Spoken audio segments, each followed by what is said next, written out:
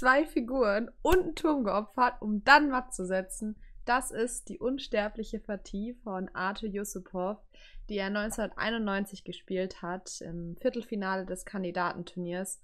Und die möchte ich euch jetzt zeigen.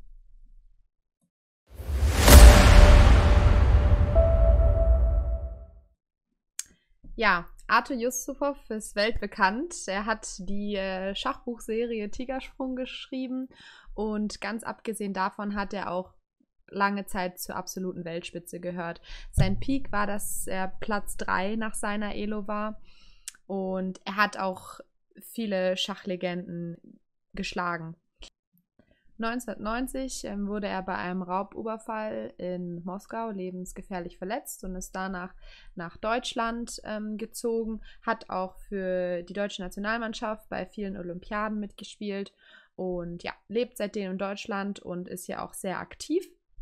Und ich hatte ihn auch mal gefragt, was seiner Meinung nach seine bedeutendste oder schönste Schachpartie ist. Und darauf hat er geantwortet, sein Sieg gegen Wassily Ivanchuk.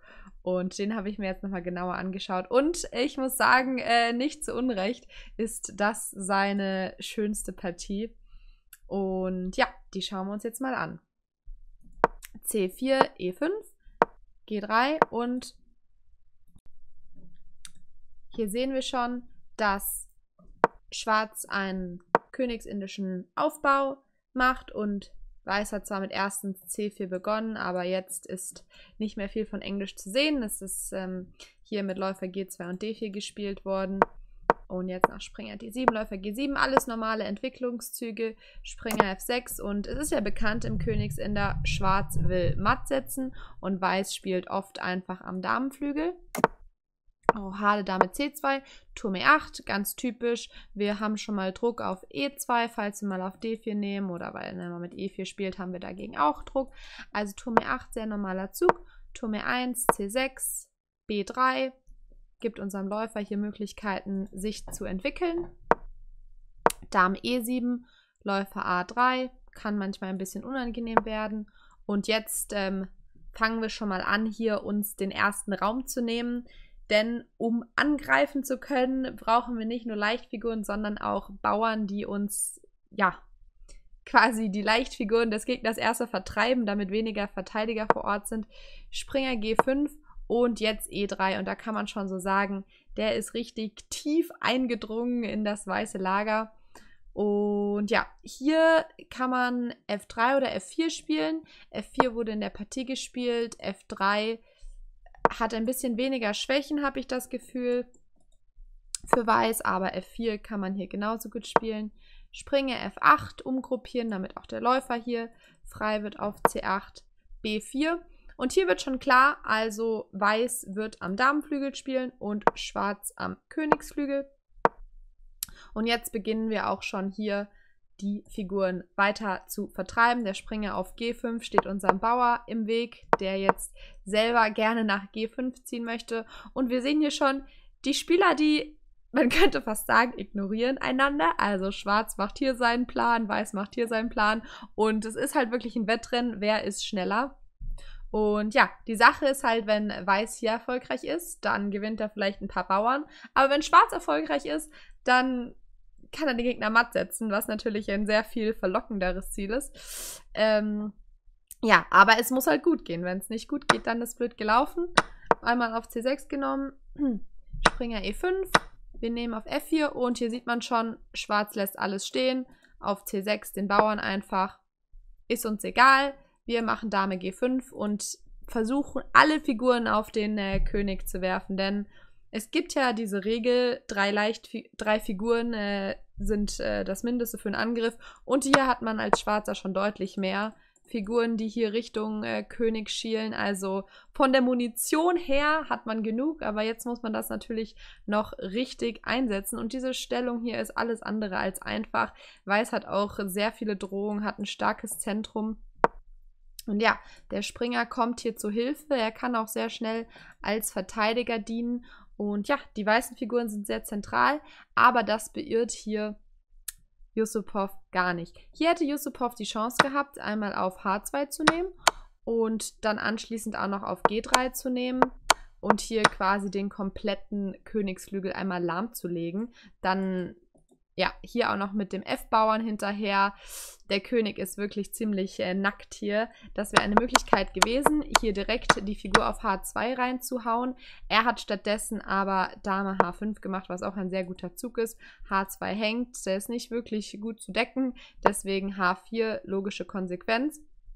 Ja, und äh, ich habe ja schon angekündigt, es wurde sehr viel geopfert und hier wurde auch die erste Figur ins Geschäft gesteckt. Und ja, also hier schreit es ja wirklich danach zu opfern und Yusupov hat es auch nicht abgeschreckt, dass er hier gegen Ivanchuk spielt, einer der stärksten Spieler seiner Zeit und hat hier die erste Figur ins Geschäft gesteckt. Es ist nicht ganz einfach, wenn Weiß komplett korrekt spielt, dann äh, muss Schwarz sich erstmal behaupten, aber hier nach Springer E7 hat Yusupov die zweite Figur gegeben. Also er hat hier wirklich rausgenommen auf 4 auf H4 in dem Wissen, es kommt Springer E7 Schach und die zweite Figur ist weg. Aber das hat ihn nicht abgeschreckt, denn er wusste, er hat hier schon gesehen, die Idee, die jetzt kommt. Das hat er alles schon im Vorhinein berechnet. Und zwar Turm E6. Und Turm E6 hat diese brillante Idee, als nächstes Turm G6 zu machen.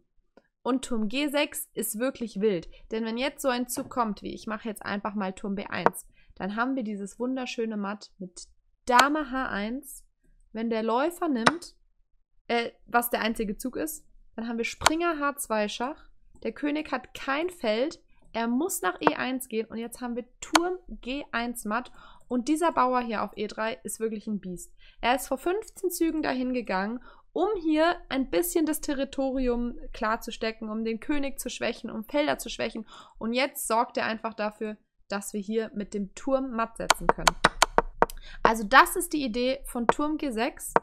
Und ja, hier hat Weiß nicht mehr viele Verteidigungsmöglichkeiten und Weiß hat hier auch die einzige Ressource gefunden, die er noch hat. Er nimmt hier den Turm raus und zu diesem Zeitpunkt hat Weiß einen Turm und zwei Figuren mehr. Ja, Yusupov hat das nicht abgeschreckt, weil diese Drohung mit Turm G6 einfach so verdammt stark war. Und die einzige Ressource, die hier Weiß auch gefunden hat, ist Dame G8 nebst Springer E7. Dort opfert die Dame zurück, aber man kann diesen Turm hier eliminieren. Aber hier hat Yusupov das ganz solide weitergemacht. Materiell hat Weiß genug Material, aber der König ist so schwach, weil dieser Bauer auf E3 einfach so verdammt stark ist und er hat keinen schwarzfeldrigen Läufer mehr. Er hat keine Figuren mehr, die hier das Matt verhindern können. Und ja, hier hat Weiß noch versucht, ein paar Rache-Schachs zu geben, aber es droht einfach Dame G1 Schach. Und ja, er hat hier, wie gesagt, noch versucht, einmal Schach zu geben. Die Dame kann natürlich einfach nehmen. Jetzt ist der Springer ungedeckt. Aber es droht Dame F2 matt. Weiß gibt auf.